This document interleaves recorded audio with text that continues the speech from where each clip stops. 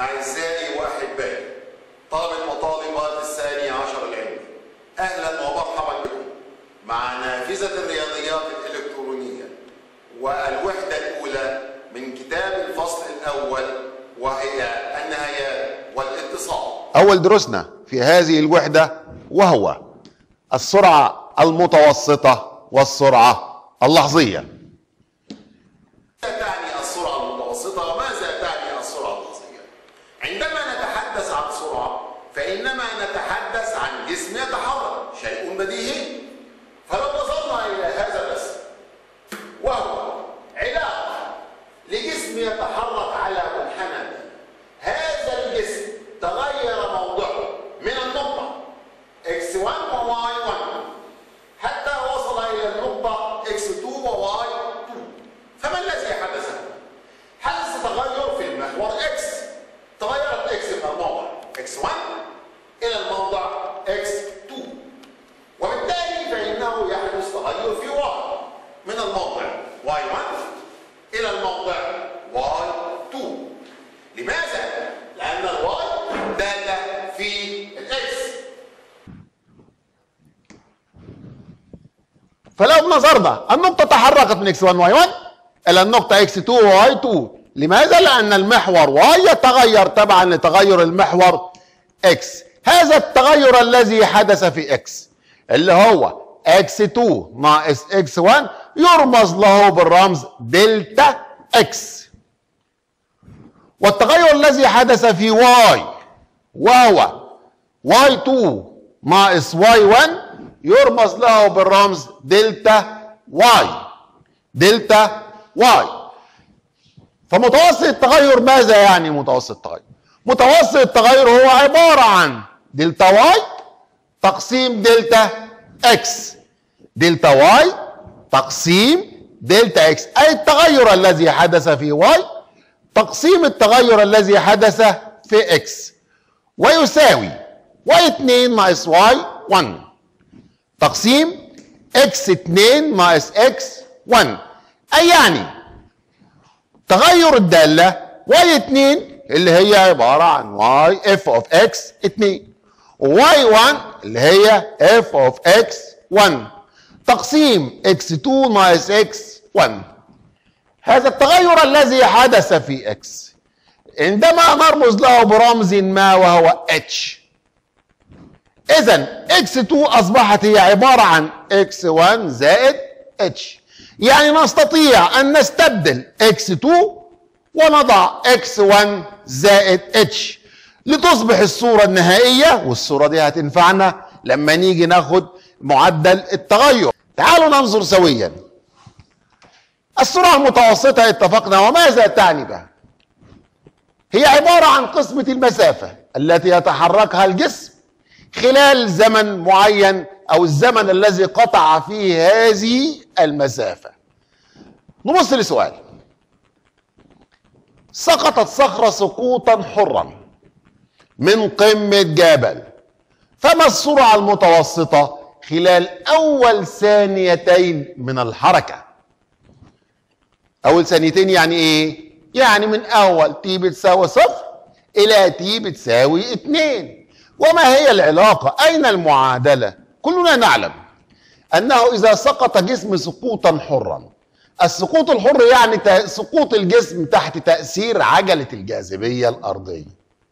ومعادلة السقوط الحر لأي جسم يسقط هي y؟ بتساوي 16 t تربيع.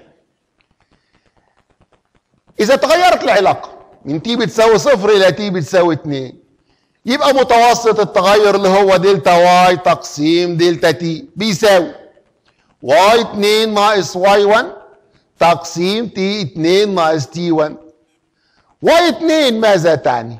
اللي هي صورة الدالة تحت تأثير العنصر كام؟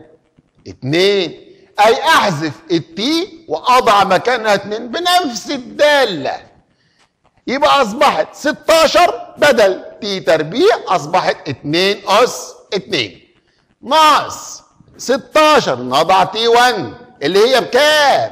بصفر. يبقى 16 صفر كل تربيع. تقسيم التغير الذي حدث كل اللي هو تي 2 ناقص تي 1 اللي هو بكام ثانية؟ اتنين. تمام. يبقى أصبح هذا الكلام نحسبها بالآلة الحاسبة.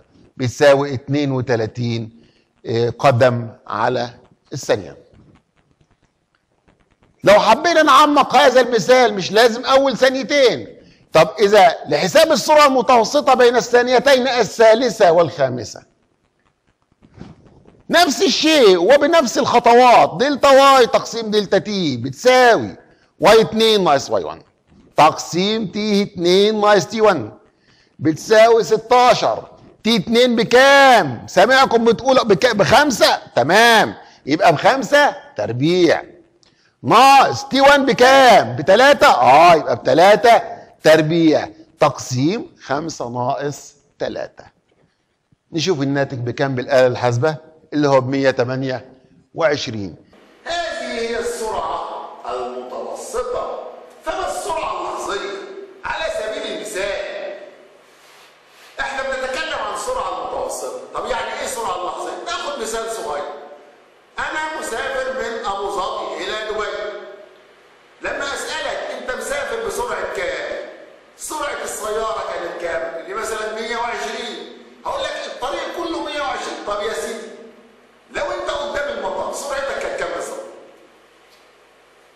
إذا الأمر تغير يبقى المقصود هنا السرعة في لحظة ما في اللحظة التي تكون فيها امام المطار يبقى اذا هذا هو المقصود بالسرعه اللحظيه طب إز- إزاي نستطيع حسابها لما نعتبر السرعه اللحظيه هي سرعه متوسطه إزاي آه نعتبر ان هناك حدث تغير أنا كنت عند المطار في الساعة مثلا عند اللحظه دي بتساوي خمسة طيب متوسط التغير نحسبه بين لحظتين اللحظه دي بتساوي خمسة ولحظه ثانية أخرى قريبه لها جدا ولتكن خمسة زائد اتش ونحسب حسابات السرعة المتوسطة وفي النهاية نعوض عن اتش بكام؟ بصفر فكأنما حسبنا السرعة في لحظة ما نرى ذلك من خلال هذا السؤال.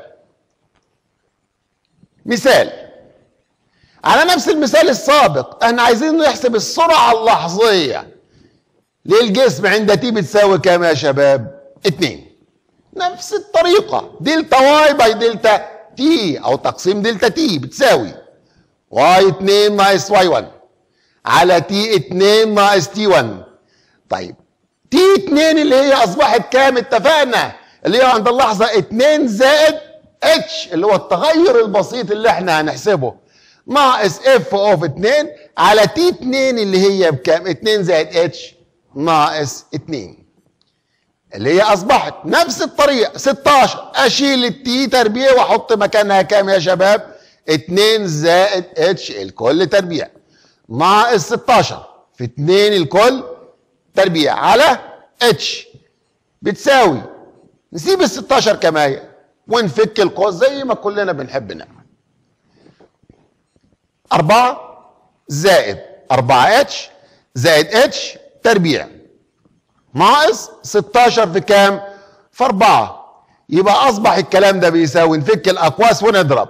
4 في 16 64 ناقص أيضا 4 في 16 ب 64 إتش زائد 16 إتش تربيع ناقص 64 على اتش أصبح الكلام ده نختصر 64 مع 64 واحدة بالموجب واحدة. اذا يتبقى عندي 64 اتش زائد 16 اتش تربيع تقسيم اتش هنقسم البسط البسط على المقام. 64 اتش تقسيم اتش تساوي كام يا رجالة؟ 64 زائد 16 اتش تربيع تقسيم اتش بتساوي كام؟ 16 اتش هذا هو السرعة اللحظية لجسم يتحرك خلال فترة زمنية صغيرة جدا. طب إحنا في البداية عاوزين السرعة اللحظية. بسيطة أوي. نحسب التغير الذي حدث في s يكاد يكون يقترب من الكام؟ من الصفر. وده أهو إعطاء h قيم تقترب من صفر. ويعبر عن ذلك بالرمز إيه يا شباب؟ limit. لما h تسعى لصفر delta y تقسيم delta t اللي هو بيساوي limit 64 زائد 16 h طب لما ما نضع t بتساوي صفر يصبح الناتج كام يا شباب؟ 64 أي أن نهاية السرعة المتوسطة اللي هي بنسميها السرعة اللحظية وهي كام؟ 64 وذلك عندما تقترب اتش من كام يا شباب؟ من الصفر. مثال آخر ندعم به احسب السرعة اللحظية. عند تي بتساوي كام؟ خمسة. نسمعكم بقى؟ delta y تقسيم delta t نفس الطريقة. y 2 ناقص y 1 على t 2 ناقص t 1 اللي هي بتساوي 16 في 5 زائد إتش كل تربيع. ناقص 16 في 5 كل تربيع على إتش. ونفك الأقواس؟ وبنفس الطريقة ونشوف اهي فك فك التربيع مرة تانية. 25 زائد 10 إتش زائد 16 إتش تربيع. ناقص 16 في 5 و20 على إتش. أصبح في النهاية كام بنفس الطريقة. في النهاية 160 زائد 256 إتش. نعين نهايتها. عندما إتش تسعى لكام يا رجالة للصفر أصبحت limit delta y تقسيم delta t لما t تسعى لما h تسعى للصفر بتساوي limit 160 زائد 256 إتش ونضع الإتش بتساوي صفر. يبقى الكلام ده بيساوي 106 و 256 وهي ديت السرعة اللحظية عند اللحظة. اللي فيها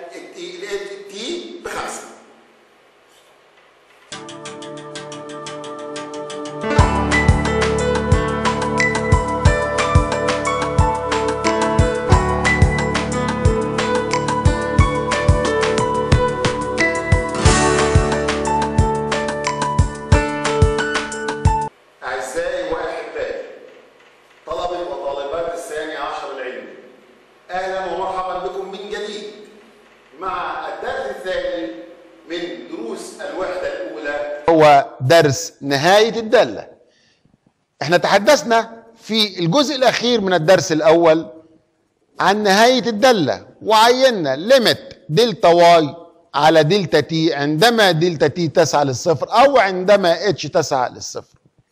فهيا بنا نستفيض في موضوع النهايات حتى ندرك ما ما ماذا تعني كلمة نهاية الدالة إذا نظرنا إلى هذه الدالة مثلا هي علاقة. بين x وبين f of x. فإذا لو نظرنا للدالة هنجد أن قيمة الدالة عند ثلاثة بكام؟ خمسة. طب إذا أخذنا قيم تقريبية تقترب عند ثلاثة من أين؟ من يمين الثلاثة يمين العدد ثلاثة نجد قيمة الدالة تصبح مثلا ثلاثة وواحد من عشرة. نجد الدالة مثلا خمسة واثنين من عشرة وهكذا. فإذا اقتربنا عند النقطة ثلاثة من اتجاه بي إلى اتجاه العدد ثلاثة حتى نكاد نصل إلى النقطة ثلاثة. تصبح قيمة الدالة كام يا رجالة؟ خمسة. نعبر عن ذلك بإيه؟ بليمت f of x. عندما x تقترب إلى ثلاثة من ناحية اليمين. الإشارة الموجبة تعني من ناحية اليمين. بتساوي كام؟ خمسة وإذا قررنا نفس هذه الخطوة بس من ناحية إيه؟ سامعكم بتقول أهو من ناحية اليسار شوفوا الدالة هتتجه إلى يسار العدد كام؟ ثلاثة نشوف نعبر عنها بإيه؟ ب limit f of x عندما x تقترب إلى ثلاثة من ناحية اليسار اللي هي بتساوي كام أيضا؟ بتساوي خمسة طب تعالوا ننظر معنى ذلك أن limit f of x لما x تقترب من اليمين بخمسة وأيضا عندما x تقترب من اليسار بخمسة. ففي هذه الحالة لما نقول limit f of x لما x تقترب من ثلاثة واسكت. فمعنى ذلك أنها تقترب من اليمين وأيضا من اليسار وكلاهما بكام؟ بخمسة. يبقى أصبحت limit f of x لما x تقترب إلى ثلاثة بتساوي خمسة وأكرر مرة أخرى. وهذا يعني أن نهايتها من اليمين بخمسة وأيضا نهايتها من اليسار بخمسة. ونلاحظ أن f of 3 بتساوي 5 أي أن قيمة الدالة عند 3 بتساوي 5 أو الدالة معرفة عند x بتساوي 3 لننظر إلى نفس الرسم وهنعمل تعديل بسيط عليه. هنا أيضا إذا اقتربنا إلى 3 من اليمين فمعنى ذلك أن limit f of x عندما x تسعى إلى 3 من ناحية اليمين بتساوي 5 وأيضا limit f of x لما x تسعى إلى 3 من ناحية اليسار بكام؟ سامعكم بتقول أهو بخمسة. لا معنى ذلك إيه؟ آه مظبوط الكلام. أن limit f of x لما x تقترب إلى 3 بتساوي 5 الله. طب ما الفارق بين هذا الشكل وهذا الشكل؟ هذا الشكل نجد أن هنا فجوة. هل هناك قيمة للدالة عند x بتساوي 3 نجد أنه الدالة ليست معرفة عند x بتساوي 3 أو أيضا ليس لها وجود ومع ذلك الدالة لها نهاية. اذا لازم نكون متذكرين أنه لا يشترط لإيجاد نهاية دالة عند نقطة أن تكون الدالة معرفة عند هذه النقطة. نركز على هذه النقطة كويس تعالوا ننظر إلى رسم آخر. هنا إذا اقتربنا إلى العدد ثلاثة أو من يمين العدد ثلاثة. شوفوا الدالة هتقف فين؟ آخر نقطة وقفت عندها بكام يا رجالة خمسة. يبقى نقدر نقول أن ليميت f of x عندما x تسعى إلى ثلاثة من اليمين بتساوي كام؟ خمسة. وهيا بنا نكرر نفس الموضوع بس من ناحية الإيه؟ الشمال. يبقى أصبحت شوفوا limit f of x لما x تقترب لثلاثة من ناحية اليسار. آخر نقطة وقفت عندها اللي هي كام؟ أربعة. معنى ذلك أن النهاية من اليمين اختلفت عن النهاية من اليسار. وفي هذه الحالة نسمي نهاية الدالة. سمعتكم بتقول أهو إنها نهاية غير موجودة. برافو. نهاية غير موجودة. لا غير موجودة ورغم أن الدالة معرفة عند العدد ثلاثة. قيمة الدالة عند العدد ثلاثة بكام؟ بخمسة. يبقى والدالة معرفة مرة تانية عند العدد ثلاثة. إذا لا يشترط لإيجاد نهاية دالة عند نقطة أن تكون الدالة معرفة عند هذه النقطة. نخرج من هذا يا رجالة. نخرج من هذا. تعني إذا كان هناك نهاية للدالة من اليمين أي أن limit f of x عندما x تسعى إلى c من اليمين بتساوي limit f of x لما x تسعى إلى c من اليسار وكلاهما بيساوي L فمعنى ذلك أن limit f of x عندما x تسعى إلى c بتساوي L وأيضا إذا كانت النهاية من اليمين لا تساوي النهاية من اليسار فمعنى ذلك أن نهاية الدالة عند النقطة سي غير موجودة. يعني الوقت لابد أن نكون متيقنين جدا أنه لا يشترط لإيجاد نهاية الدالة عند نقطة أن تكون الدالة معرفة عند هذه النقطة. هيا ننظر إلى هذا المثال. عندي دالة معرفة على الشكل على على الشكل اللي بهذا الشكل اللي موجود أمامي. من النقطة إكس بتساوي صفر إلى إكس بتساوي 4 أي على الفترة الزمنية صفر وأربعة. اذا limit f of x لما x تسعى لاثنين فورا بكام قيمتها؟ بواحد. اذا أيضا limit f of x عندما x تسعى إلى واحد من اليمين. هنا الاختلاف. واحد من اليمين أذهب إلى يمين الواحد. آخر نقطة الدالة وقفت عندها اللي هي العدد كام؟ سمعكم بتقولوا بكام؟ واحد. أحسنتم. وأيضا limit f of x عندما x تسعى إلى واحد بس من اليسار. آخر نقطة وقفت الدالة عندها من اليسار كام؟ أيضا بصوا كده. صفر. أحسنتم. يبقى limit f of x لما x تسعى إلى واحد من اليسار بتساوي صفر. فمعنى ذلك أن النهاية من اليمين اختلفت عن النهاية من اليسار. ونلاحظ شكل المنحنى في هذه النقطة ما الذي حدث له؟ وكأنما انفصل عن بعضه انفصالا معينا. يبقى معنى ذلك أن limit f of x لما x تسعى إلى واحد غير موجودة. ونتطرق على ذلك. يبقى limit f of x لما x تسعى إلى صفر من اليمين أيضا بكام آخر نقطة وقفت عندها؟ بواحد. برافو! يبقى أيضا limit f of x لما x تسعى إلى نص عند النص. ونرى الداله لما x تسعى لنص قيمتها كام؟ تقريبا. سامعكم بتقولوا كام؟ نص. برافو. و limit f of x بنفس الطريقة. عندما x تسعى إلى اتنين ونص بكام؟ بواحد ونص. أحسنتم. يبقى هنا أيضا limit f of x عندما x تسعى إلى أربعة من اليسار مين اللي هيجاوب؟ أحسنت. واحد برافو. وأيضا limit f of x عندما x تسعى إلى ثلاثة من اليمين أصبحت العملية شبه سهلة جدا ولا يوجد أي مشكلة إن شاء الله بكام؟ باثنين. وطالما نهايتها من اليمين باثنين ففورا بدون ما نفكر ولا نهاية أيضا نهايتها من اليسار باثنين. ومعنى ذلك أن نهايتها عند العدد إكس بتساوي ثلاثة أيضا باثنين الآن تعالوا أيها الطلبة والطالبات تعالوا مع بعض نشوف مجموعة من الأمثلة البسيطة والسهلة لحل مجموعة من مسائل النهاية. هذا السؤال الأول اللي موجود عندنا اللي هو limit 3 x تربيع ناقص 2 x زائد 1 على x تكعيب زائد 2 عندما x تقترب من 1 هذا السؤال إذا نظرنا أهم شيء إن أنا أعوض في المقام؟ هل عندما لما أعوض في المقام المقام بصفر ولا مش بصفر؟ مجرد كان مجرد كده سالب واحد كل تكعيب زائد اثنين يبقى واحد يبقى مفيش مشكلة اللي هو بيساوي ثلاثة ناقص واحد. الكل تربيع ناقص اتنين. ضرب ناقص واحد زائد واحد. تقسيم ناقص واحد. تكعيب زائد اتنين. ثم باستخدام الآلة الحاسبة. نجد أن ده بيساوي.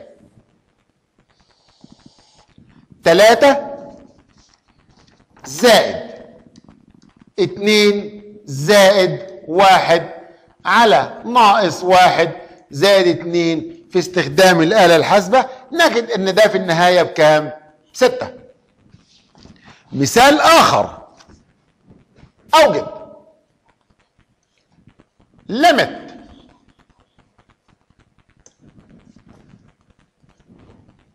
x تربيع. ناقص تسعة. على x زائد تلاتة. عندما x تسعى إلى سالب تلاتة.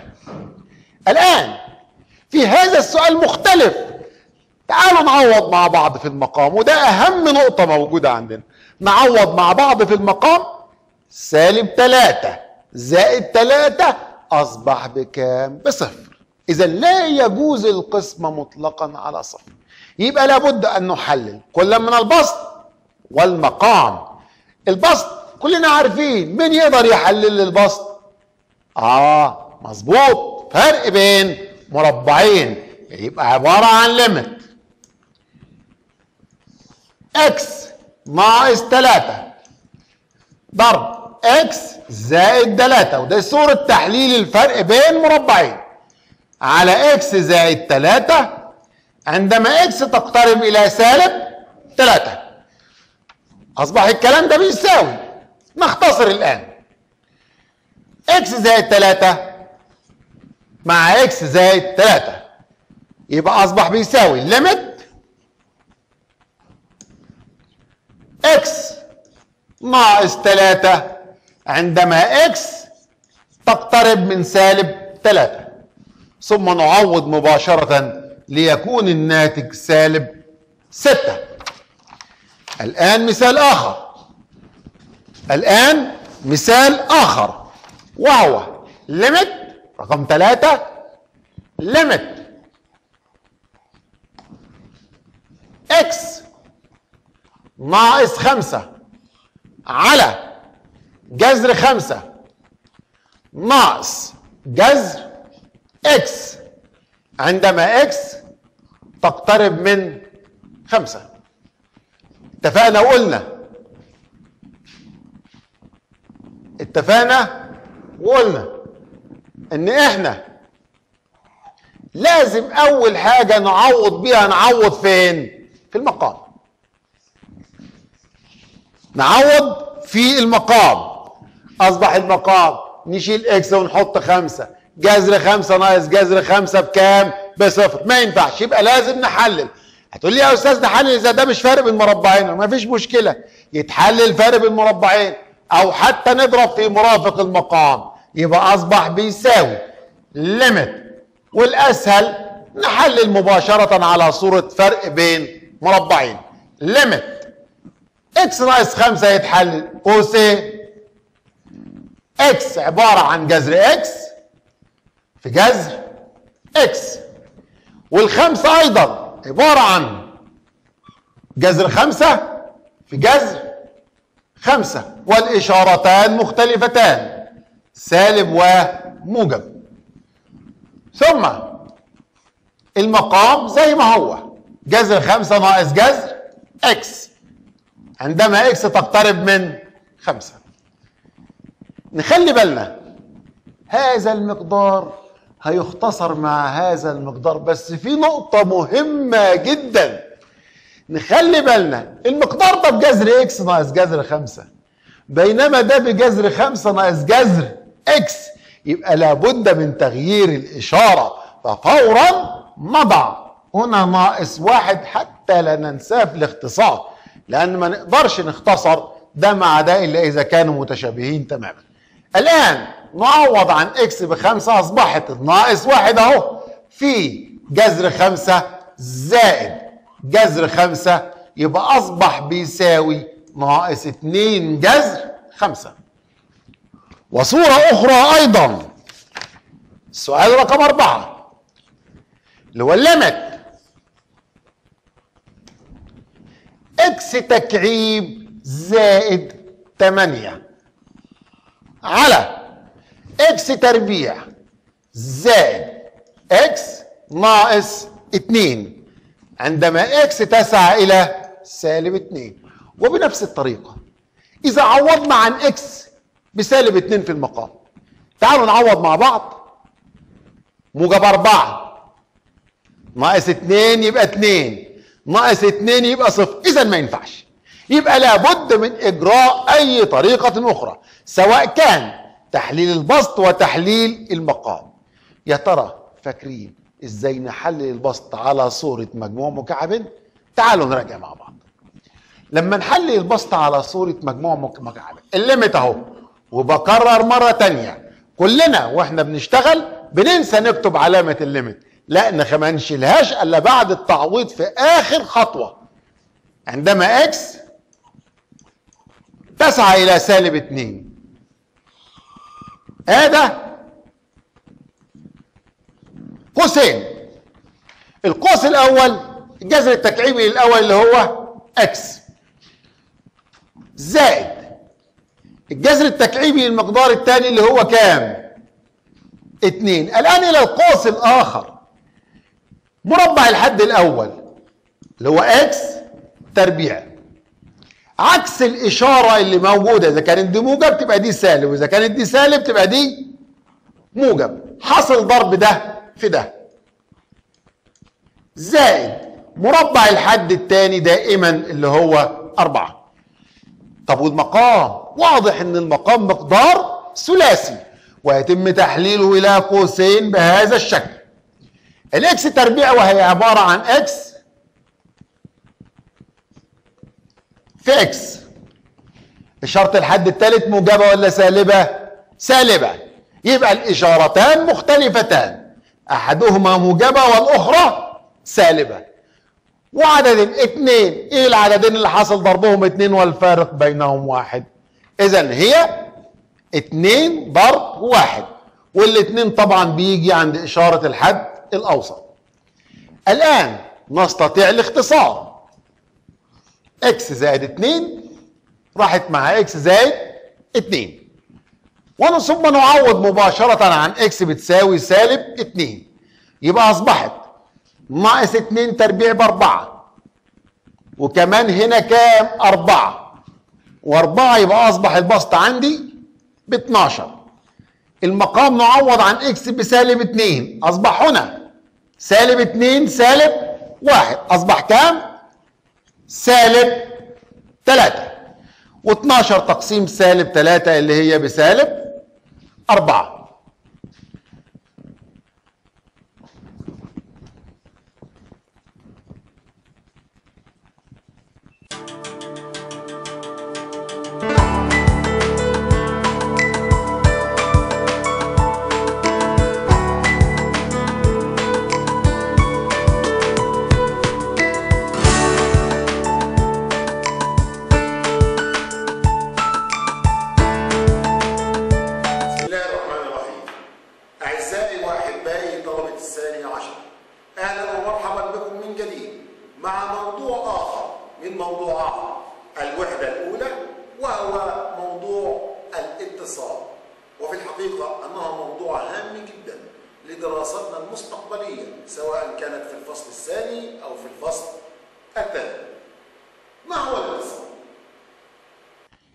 عندما ننظر إلى أي دالة أيا كانت ولتكن هذه الدالة التي أمامنا. لو سألنا أي شخص بالعربي هل هذه الدالة متصلة ببعضها؟ نعم متصلة ببعضها. لماذا لا يوجد أي انفصال في أي نقطة عند هذه النقاط؟ فمعنى ذلك أن هذه اتصلة الدالة متصلة. طب فما التفسير العلمي لها؟ فإذا نظرنا إلى إنه إلى الاتصال عند النقطة ثلاثة هل يوجد نهاية عند النقطة ثلاثة؟ نعم limit f of x لما x تسعى إلى ثلاثة بتساوي كام؟ خمسة وأيضا limit أو f of ثلاثة بتساوي كام؟ خمسة معنى ذلك أن هذه الدالة لها نهاية عند ثلاثة وقيمتها عند x بتساوي ثلاثة أيضا بكام؟ بخمسة لذلك فإن هذه الدالة متصلة عند x بتساوي ثلاثة وإذا نظرنا إلى هذا الرسم بمجرد النظر هل هذه الدالة متصلة عند x بتساوي ثلاثة؟ واضح أن هنا يوجد انفصال فما فما تفسير هذا رياضيا؟ limit f of x لما x تسعى 3 بتساوي 5 لماذا؟ لأنه لا يشترط لإيجاد نهاية دالة عند نقطة أن تكون الدالة معرفة عند هذه النقطة ومع ذلك فإن f of 3 هنا ليس لها وجود. وبمجرد النظر فمعنى ذلك أن هذه الدالة ليست متصلة عند x بتساوي 3 وإذا نظرنا إلى هذا الرسم واضح من خلال هذا الرسم أنه لا يوجد نهاية عند النقطة x بتساوي 3 هنا حدث انفصال في المنحنى. والنهاية من اليمين اختلفت عن النهاية من اليسار عند النقطة x بتساوي 3 ومعنى ذلك أن limit f of x عندما x تسعى إلى 3 غير موجودة. هنا حدث انفصال. نتيجة عدم وجود نهاية. رغم أن الدالة لها وجود عند العدد x بتساوي 3 أي لها قيمة عند x بتساوي 3 معنى ذلك أن الدالة غير متصلة عند x بتساوي 3 فمتى تكون الدالة متصلة أو متى نستطيع تعريف الدالة بأنها متصلة؟ تكون الدالة متصلة باختصار شديد عند أي نقطة. إذا كانت نهايتها عند هذه النقطة بتساوي قيمتها عند هذه النقطة. وهذا هو التفسير لاتصال دالة عند نقطة ما. لو نظرنا إلى هذا المثال دالة بهذا الشكل الذي أمامي. لو نظرنا إلى هذا انظروا معي. هل هذه الدالة متصلة عند إكس بتساوي واحد؟ بمجرد السؤال. فورا فهي غير متصلة. لماذا؟ واضح من خلال الشكل. النهاية من اليمين اختلفت عن النهاية من اليسار. وأيضا هل هي متصلة عند إكس بتساوي 2 واضح لا. لماذا لأن نهايتها يوجد نهاية ولكن نهايتها لا تساوي قيمتها فمعنى ذلك أن الدالة هذه متصلة عند جميع النقاط ما عدا عند النقطتين إكس بتساوي واحد واكس بتساوي اتنين طب هل نستطيع علاج هذا الانفصال؟ هل نستطيع التخلص من هذا الانفصال؟ نعم هناك نقاط نستطيع أن نتخلص من الانفصال عندها أو انفصال نستطيع التخلص منه أو علاجه.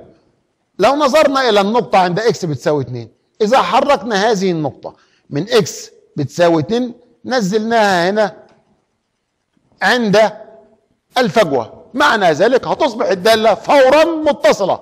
إذا الانفصال عند x بتساوي 2 يسمى انفصال مؤقت ويمكن التخلص منه وذلك بوضع f of 2 بتساوي كام؟ واحد. ولكن هل نستطيع علاج هذا الانفصال عند x بتساوي واحد؟ بالقطع. لا. لأنه لا بد من إعادة تغيير الدالة كلها مرة أخرى. إذا الانفصال عند واحد يسمى انفصال نتيجة قفزة أو نتيجة عدم وجود النهاية ولا نستطيع التخلص منه.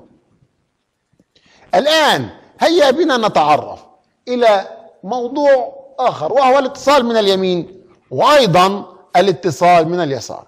إذا نظرنا إلى أطراف هذه الداله هذا هو الداله من ناحية اليمين وأيضا هذه الداله من ناحية اليسار. فلو نظرنا بمجرد النظر هل متصله عند x بتساوي b؟ نعم متصله عند x بتساوي b. لماذا متصله عند x بتساوي b؟ ومتصله عند x بتساوي a؟ الداله f متصله عند x بتساوي a؟ لماذا؟ لأن limit f of x لما x تسعى إلى a من ناحية اليمين بتساوي قيمتها عند ال a بتساوي أيضا 3 وبنفس الطريقة ان أن الدالة متصلة عند x بتساوي b لماذا؟ لأن نهايتها عند b بتساوي قيمتها عند b وبتساوي أيضا أربعة. أما هذه الدالة هي متصلة عند x بتساوي a؟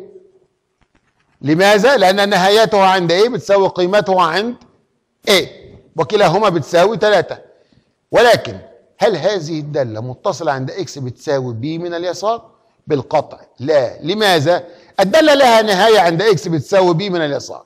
ولكن ليست لها قيمة عند x بتساوي b. والشرط الأساسي للاتصال أن تكون نهاية الدالة عند نقطة تساوي قيمتها عند هذه النقطة. فمعنى ذلك أن limit f of x لما x تسعى إلى b من اليسار بتساوي 4 ولكن f of b أي قيمة الدالة عند b غير موجودة ولذلك فإن الدالة ليست متصلة عند b من اليسار. وهذه الدالة أيضا نلاحظ أنها متصلة عند b ولكنها ليست متصلة عند a من اليمين. لماذا ليست متصلة عند a من اليمين؟ لأن نهايتها عند a من اليمين لا تساوي قيمتها. لأن limit f of x عندما x تسعى إلى a من اليمين بتساوي سامعكم بتقول أهو كام؟ ثلاثة برافو. بينما قيمتها عند a أصبحت كام؟ أربعة. إذا اختلفت النهاية عن القيمة. معنى ذلك أن limit f of x لما x تسعى إلى b من اليسار أيضا بكام؟ بخمسة. لذلك فإن الدالة متصلة عند x بتساوي b من اليسار. نستخلص من هنا. أنه حتى تكون الدالة متصلة عند نقطة يجب أن يكون نهايتها عند هذه النقطة بتساوي قيمتها عند هذه النقطة.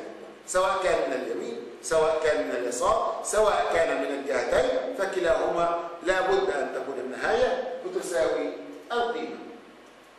تعالوا نتعرض معا إلى أنواع مختلفة من الانفصال. الانفصال له أنواع كثيرة. إذا نظرنا إلى هذه الدالة المرسومة في الشكل واحد. بمجرد النظر هل يوجد نقاط انفصال في هذه الدالة؟ أيوة بالقطع. لا هذه الدالة دالة متصلة. ولا يوجد انفصال في أي نقطة. حتى عند النقطة صفر. نهايتها عند الصفر بتساوي قيمتها بتساوي واحد. طب الشكل اثنين. هل هذا هذه الدالة متصلة عند النقطة صفر بالقطع هو بمجرد النظر. لا. ولكن ما نتيجة هذا؟ هذا الانفصال ناتج من أي؟ هذا الانفصال ناتج من عدم تعريف دالة عند النقطة x بتساوي صفر. أي أن هذه الدالة ليست معرفة عند x بتساوي صفر. وهل نستطيع التخلص من هذا الانفصال؟ نعم نستطيع التخلص بإعادة تعريف الدالة عند x بتساوي صفر ووضعها x بتساوي كام؟ واحد.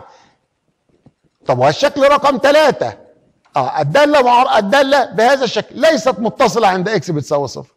وأيضا معرفة عند x بتساوي صفر لأن f of صفر بتساوي كام؟ اتنين. فما نوع هذا الانفصال؟ آه هذا الانفصال نسميه انفصال مؤقت. ويمكن التخلص منه. أتخلص منه إزاي؟ إن أنا أقدر أحرك الدالة عند النقطة x بتساوي صفر اللي هي قيمتها اتنين أنزلها. واقفل بيها هذه الفجوة. تصبح f of صفر بتساوي كام؟ واحد.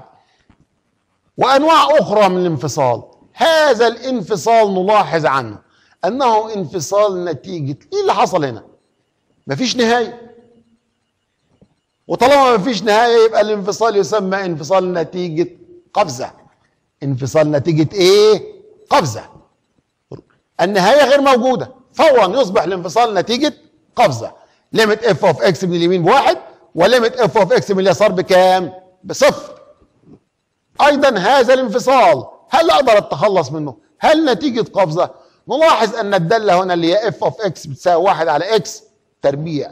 لا يمكن أن يكون للدالة قيمة عند الصفر. لذلك الانفصال هنا يسمى انفصال نهائي.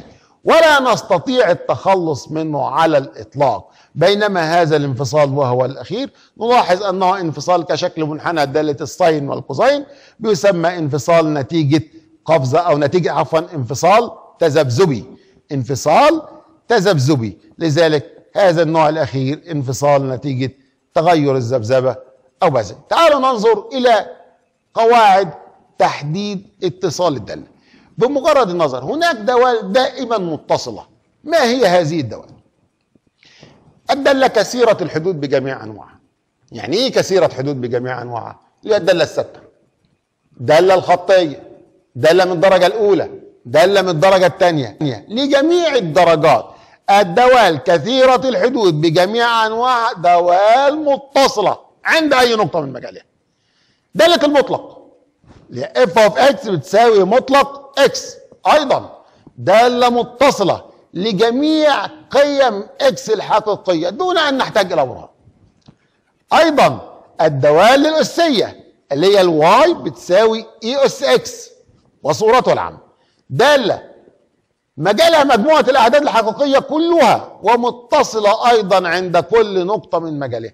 هذه الدوال فورا نستطيع أن نقول عنها أنها دوال متصلة. كذلك أيضا الدوال المثلثية الأساسية. دوال ال sine x وال cosine x ولو شفناهم ورسمناهم نجد أن كل هذه الدوال لا يمكن أن تنفصل إلا بشروط معينة. هذه الدوال إذا رسمتها بتجد أن منحناها منحنى متصل بصفة مستمرة. الدوال اللوغاريتميه إحنا تذكرنا من صف الحادي عشر. أن الدالة اللوغاريتمية لكي يكون لها وجود يجب أن تكون قيم x هذه أكبر من الصفر. قيم x أكبر من كام؟ من صفر. يبقى هذه الدالة اللوغاريتمية متصلة لجميع القيم التي تجعل ما بعد ال log أكبر من الصفر. دالة الجذر التكعيبي اللي هي y بتساوي الجذر التكعيبي ل x ناقص أيضا دالة متصلة لجميع قيم x أما دالة الجذر التربيعي اللي هي ال y بتساوي الجذر التربيعي ل x ناقص a هذه الدالة متصلة لجميع القيم التي تجعل ما تحت الجذر يجب أن يكون عدد موجب أو كمية موجبة. يعني بمعنى أصح ما نقدرش نعوض عن x بقيمة ويكون الناتج عدد سالب لأنه لا يوجد جذر حقيقي لعدد سالب. فمعنى ذلك أن هذه الدالة متصلة لجميع القيم التي تجعل إكس ناقص a أكبر من أو يساوي صفر. كذلك الدوال الحدوديه النسبية. أسألكم سؤال. هل يستطيع أحد أن يقسم على صفر؟ لا يمكن أن نقسم على صفر. لذلك فإن الدوال النسبية هذه متصلة لجميع القيم ما عدا القيم التي تجعل المقام بيساوي صفر ونسميها بأصفار المقام. يبقى ما عدا أصفار المقام. لو حبينا نتعرف أو نقدر نحدد نوع انفصال الدالة من خلال الرسم تعالوا ننظر إلى بعض من هذه الأمثلة. هذا شكل هذا شكل ما. بمجرد النظر. عايزين نحدد نوع الانفصال؟ وأي نقاط من هذا الانفصال نستطيع التخلص منها أسألكم سؤال. الدالة هنا منفصلة عند x بتساوي واحد. لماذا منفصلة عند x بتساوي واحد؟ لا يوجد نهاية. النهاية من اليمين اختلفت عن النهاية من اليسار. لا يوجد نهاية. فمعنى ذلك أن الانفصال هنا نتيجة قفزة. طالما لا يوجد نهاية ففورا الانفصال نتيجة قفزة. طب وعند x بتساوي 2 آه سهلة بسيطة. الانفصال عند x بتساوي 2 انفصال مؤقت ويمكن التخلص منه بإعادة تعريف الدالة. وذلك بوضع f of 2 أنزل هذه النقطة حتى نتخلص من الانفصال. الآن انظروا إلى الشكل الآخر. هذه الدالة بمجرد النظر هناك نقاط انفصال. x بتساوي صفر. x بتساوي واحد. x بتساوي اتنين وأيضا x بتساوي تلاتة. تعالوا ننظر إلى نقطة نقطة. عند x بتساوي صفر هل يوجد نهاية؟ سمعكم بتقولوا لا. يبقى فورا هنا الانفصال نتيجة قفزة ولا يمكن التخلص منه الانفصال عند x بتساوي واحد واضح وبنفس الطريقة أنه انفصال مؤقت. ونستطيع التخلص منه. وذلك بوضع f of واحد أو قيمة الدالة عند واحد بكام؟ باتنين. أحسنتم. الآن الانفصال عند x بتساوي اتنين. أيضا سهل وبسيط. نستطيع التخلص منه. وذلك كيف؟ أننا نعيد تعريف الدالة عند x بتساوي اتنين. نعيد لأن هنا الدالة ليست معرفة أساسا عند x بتساوي اتنين ولذلك الانفصال نتيجة عدم تعريف الدالة. وعند x بتساوي تلاتة بنفس طريقة x بتساوي اتنين. اذا هذا الانفصال نستطيع التخلص منه بإعادة تعريف الدالة. الآن عايزين نقعد ونعرف مع بعض. إزاي نقدر نحدد قواعد انفصال الدالة بطريقة جبرية مش من طريقة الرسم. على سبيل المثال الدالة اللي موجودة أمامي اللي هي واي بتساوي إكس ناقص واحد على إكس تربيع ناقص 4 إكس زائد 3 عايزين نحدد نقاط الانفصال ونحدد نوع الانفصال. إذا كان عندنا مهارة الرسم نقدر نرسم ونحدد نوع الانفصال. لكن عايزين نحددها جبريا. هذا الرسم تعرفنا عليه. الآن بهذا الشكل إحنا عارفين إن دي دالة نسبية. إذا لابد من تحليل البسط وتحليل المقام ونعين أصفار المقام. أي القيم التي تجعل المقام بيساوي صفر بهذا الشكل. المقام مقدار ثلاثي. يبقى إكس ناقص 3 في إكس ناقص 1 ده التحليل. الآن هناك صفرين للمقام. ما هما؟ اللي هما إكس بتساوي 3 وإكس بتساوي 1 الاكس بتساوي واحد نلاحظ أنه نستطيع التخلص منه بعد الاختصار. لذلك هنا الانفصال مؤقت ويمكن التخلص منه بإعادة تعريف الدالة عند x بتساوي واحد. طب و x بتساوي ثلاثة لا بقى ده ما أقدرش نعمل فيه حاجة ده انفصال نهائي فورا لأنه لا نستطيع اختصاره مع أي شيء موجود في البسط تعالوا إلى دالة أخرى. y. تساوي الجذر التكعيبي. 2 x ناقص واحد. إحنا درسنا قبل كده إن الجذر التكعيبي داله متصله لجميع قيم فورا. اذا لا يوجد هنا دون أن نناقش نقاط انفصال. أيضا الدالة y بتساوي مطلق x ناقص واحد.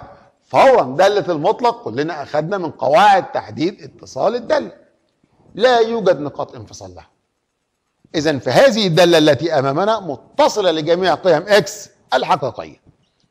كذلك أيضا مطلق x تربيع ناقص طالما مطلق فمعنى ذلك أن الدالة متصلة دون تحديد دون تحديد أي نقاط انفصال. الدالة y بتساوي واحد على x زائد اتنين الكل تربيع. آه هنا دالة نسبية. هل يوجد للمقام اصفار هل يوجد للمقام قيمة أعوض عن x بها حتى يكون المقام بيساوي صفر؟ نعم. ما هي هذه القيمة من يقول؟ آه سمعت واحد بيقول سالب اتنين. إذا الإجابة صحيحة، إذا هذه الدالة لها نقطة انفصال عند إكس بتساوي سالب 2 طب هل أستطيع أتخلص من هذا الانفصال لا يمكن لأنه انفصال نهائي مفيش كلام فيه لا نستطيع اختصاره مع أي شيء اطلاقا. الدالة و y بتساوي واحد على x تربيع زائد واحد. هل هنا أصفار للمقام؟ أوعى أوعى تتغش وتقول آه ده فرق بين مربعين ونحلله وال x بتساوي زائد أو ناقص واحد. خلي بالك أن هذا x تربيع زائد واحد. لا يوجد هنا أصفار للمقام. ومعنى ذلك أن هذه الدالة متصلة لجميع قيم x ولا يوجد نقاط انفصال لها.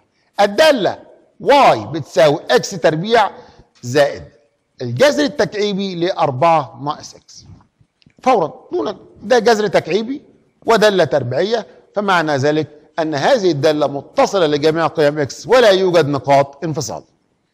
الدالة y بتساوي cotan x نقف هنا شوية. cotan x إحنا عارفين إن ال cotan x بتساوي إيه؟ cosine x على sine x فما أصفار المقام؟